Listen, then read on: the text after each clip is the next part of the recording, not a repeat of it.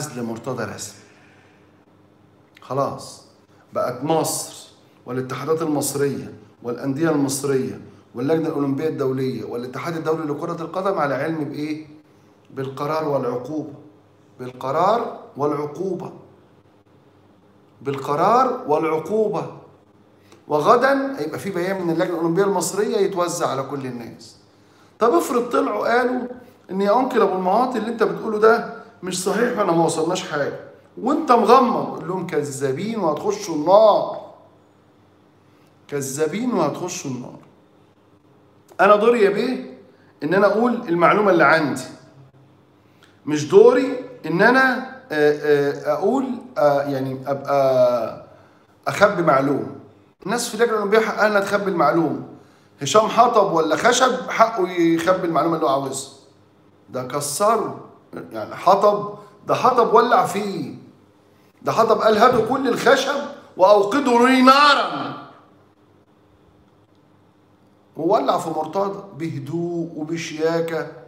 وبعدها عمل إيه؟ قام رايح راكب خيل وقعد يلعب سباق موانع. ولا في دماغه إنه عمل حاجة.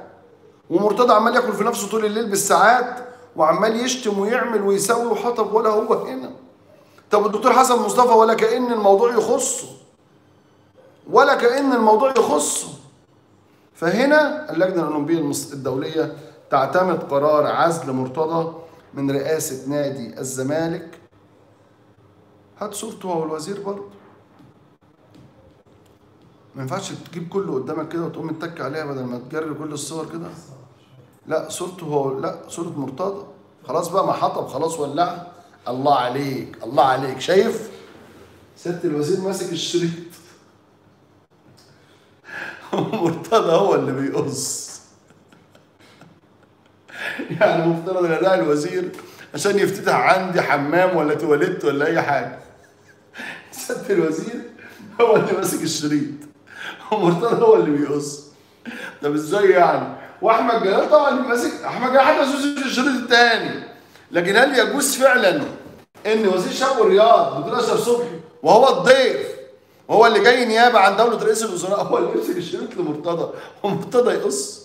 بالله عليكم ده كلام. ده بروتوكول. دولة رئيس الوزراء لو كان حاضر كان هيقف كده زي احمد جلال مثلا؟ لا طبعا. طب الدكتور اشرف صبحي هو اللي يجوز إنه يمسك الشريط؟ مرتضى اللي يمسك له الشريط مش العكس. لكن البارانويا والنرجسية وجنون العظمة اللي عند مرتضى إيه كده؟ والدكتور اشرف صبحي راجل مؤدب. قال له يا عم خلصت من أم الزيارة الخانقة دي. عاوز أمشي والله وأروح. أنا ما بشوفش العيال. وجيت لك يوم الجمعة عشان اتقي شرك واتقي لسانك. بدل ما تقعد تقول أنت فين يا أشرف ومش يا أشرف وكلام من أجيب هل بالله عليك أنا عاوز أجمل تعليق على إن الوزير ما هو اللي ماسك. هو اللي ماسك لمرتضى الشريط ومرتضى طب أنت أصلا جايب الوزير ليه؟ عرفني أنت جايب الوزير ليه يا مرتضى؟ الوزير يجي عشان يمسك لك الشريط وانت اللي تقص. طب ما تقص مع نفسك يا مرتضى. والوزير يريح في اليوم ده وطول الأيام شغال وتعبان وعمال يجري من شرم الشيخ لإسكندرية لأسوان للاقصر لأكتوبر لشبرا الخيمة لحلوان وهكذا. لكن هنا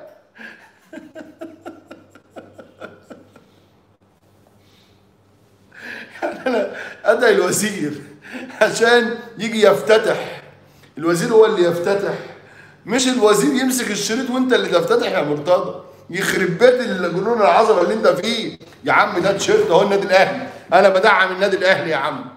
ده تيشيرت النادي الأهلي. ما تصدعونيش بقى. مستني تيشيرت الزمالك والله من أحمد سليمان. على الزملكاوية مطالبة أحمد سليمان إنه يجيب التيشيرت. أنا مش لاقيه في ال stores لو في ال stores بتاع الزمالك double X أروح أجيبه. سألت ما لقيتش. اللي يلاقيه يقول لي. خلاص كده. هقول إيه بقى تاني؟ أقول إيه تاني؟ خلصت فيه كل الكلام يا مرتضى. سيادة الوزير هو اللي مسك الشريط يا راجل أنت. ده كلام يعقل. طيب ماذا يستوجب الآن على وزير الشباب والرياضة؟ خلاص تم إبلاغ الجهات الدولية وتم إبلاغ الجهات المحلية. لم يعد أمام وزير الشباب والرياضة لعزل هذا الكائن رسميا ومنعه من التوقيع على نادي على شيكات نادي الزمالك ودخوله بوابة نادي الزمالك إلا إصدار قرار بتجريده من التوقيع على الشيكات ما عندوش حاجة تانية. الحاجة الثانية هو أتمنى إن إن اللجنة الأولمبية أو مركز تسويق التحكيم يتخذ قرارا عاجلا بإلغاء لائحة مرتضى منصور اللي أعاد بها ابنه إلى إيه إيه الحكم في نادي الزمالك بعد ما هنا العتال كسحه وسقطه في الانتخابات. وأتمنى أيضا على الدكتور أشرف صبحي وزير الشباب والرياضة أن يتقي الله في عمله ويعيد الدكتور عبد الله جورج الاخوانجي عبد الله جورج الإخوانجي. فاهم يا مرتضى؟ جورج الإخوانجي. اوعى تنسى. بالليل تقول كده. قال له عبد الله جورج قال له إخواني يا بيه. قال له عبد الله جورج. مش عبد الله بس. قال له آه جورج.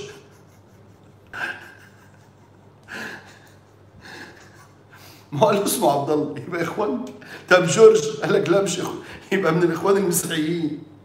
مش من الإخوان المسلمين حاجة حاجة بصراحة. كم الافتراءات اللي بيطلعها مرتضى على الناس والإساءات غير طبيعية؟ ويتحمل الشباب والرياضه الدكتور أشرف صبحي مسؤولية تطبيق القانون. تطبيق القانون. هو بيطبق القانون بهدوء وبروية لكن الآن أصبح في اعتماد من الأولمبية الدولية لقرار عزل مرتضى. طب الجواب الأولمبية الدولية اللي جه للأولمبية المصرية بيقول إيه؟ علم. أحطنا بقراركم لكن الأولمبية الدولية ما بتاخدش قرار. أنت خدت القرار. إمتى الاولمبيه الدولية تاخد قرار؟ لو تدخلت الدولة بأي شكل من الأشكال لإجبار الاولمبيه المصرية على التراجع. بقت فضيحة بجلاجل طب مرتضى دلوقتي أصبح معزولا دوليا. إحنا بنحيط اللجنة الأولمبية الدولية فبتعتمد القرار. كده ما فيش قدام الدكتور أشرف صبحي حاجة غير إنه ياخد القرار بقى بتاعه. أعتقد إنه كان مأجل قراره إلى هذا الأمر. طب لجوء مرتضى إلى القضاء يعني لجوء مرتضى إلى القضاء ده قرار خاطئ. ليه؟ لأن قانون الرياضه قانون 71 نظم إنك أنت عاوز تتظلم من حاجة تروح فين؟ مركز تسويق التحكيم طب في جزئية تانية عاوز أتكلم فيها وهي أن لجنة التفتيش بنادي الزمالك في صدمة عنيفة جدا جدا ومستعين جدا الناس. في قمة الاستياء الاستياء الشديد. شوف يا بيه. بقى لهم ثلاث أيام النهارده النهارده بقول لهم عايزين العقود. فين العقود بتاعت اللعيبة؟ فين لائحة مكافئات اللعيبة؟ فين آآ آآ بتاع ده؟ كشف المشطوبين والموقوفين على مدار السنوات الثلاث الماضية. فين العضويات؟ وعاوزين نعرف كيف يتم إضافة الأم والأب والعيلة لأنهم عندهم مخ... عارفين المخالفات اللي موجوده ولا راضيين يدوهم حاجة. والناس بتوع لجنة التفتيش قال محترمين كل ما يقولوا حاجة لموظف يروحوا ما يرجعش يروحوا ما يرجعش. ومطولين بالهم. ومش عاوزين يحبسوا حد ولا يشدوا حد ولا يعملوا مشاكل ولا أي حاجة. مدام سهير الشاعر ولها منه كل التقدير وكل الاحترام. رئيسة العضوية. النهارده طلب منها المشطوبين والموقوفين في العضويات. قالت لهم حاضر. وراحت وما رجعتش. تواصلت مع أحمد جلال إبراهيم نائب رئيس النادي والرئيس الفعلي. لا يا مدام سهير يا حاجة سهير اسمعي كلام اللجنة واديها واديهم كل المعلومات وإلا تتحملي عواقب ما سوف قرارات. قالت له يعني لا يعني هو قال لك إيه؟ قالت له قال لي ما تديهمش حاجة. قال لها تتحبسي يا حاجة سهير ما حدش ينفعك يا حاجة سهير الناس دي ما بتهزرش معاها ضبطيه قضائية. أنا بقول لك يا بالحوار اللي دار بين أحمد جلال اللي ما راحش النادي النهارده والحاجة سهير الشاعر قالت له أحمد بيه ده عايزين الموقوفين والمشطوبين على مدار الثلاث سنوات الماضية منذ مدة المجلس. قال ادهم له. حق اللجنة. يا أحمد بيه ده عايزين إضافة الأم والأب وازاي بيتم والعيلة وكلام من قال لها في حاجة غلط عملتوها؟ قالت له كان بيعمل مجاملات لناس بالاعتماد.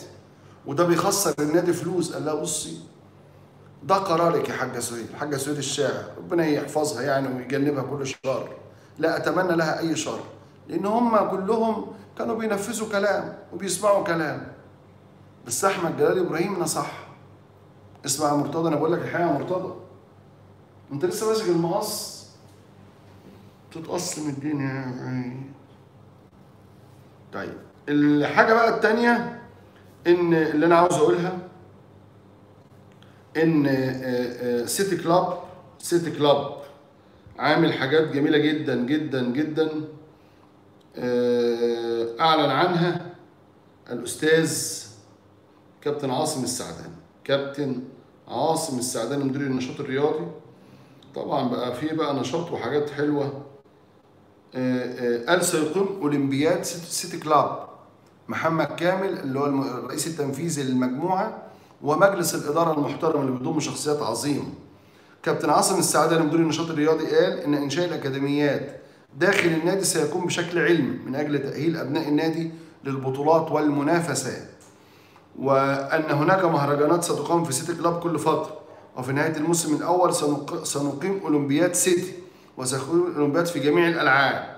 ومتداخل فيها النشاط الرياضي والثقافي والاجتماعي ولدينا مشروع رياضي لتدريب أصحاب الهمم. وقال الدكتور ع- كابتن عاصم السعداني سنقوم برعاية جميع المواهب بدلا من المواهب التي تدفع الاشتراكات سنقوم برعايتها ولدينا طموح كبير أن نتمكن من تقديم لاعبين للاحتراف خارج مصر.